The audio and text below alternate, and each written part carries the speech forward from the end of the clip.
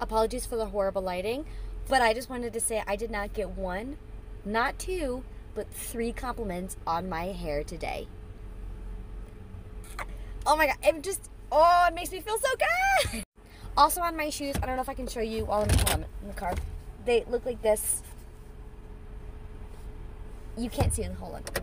There.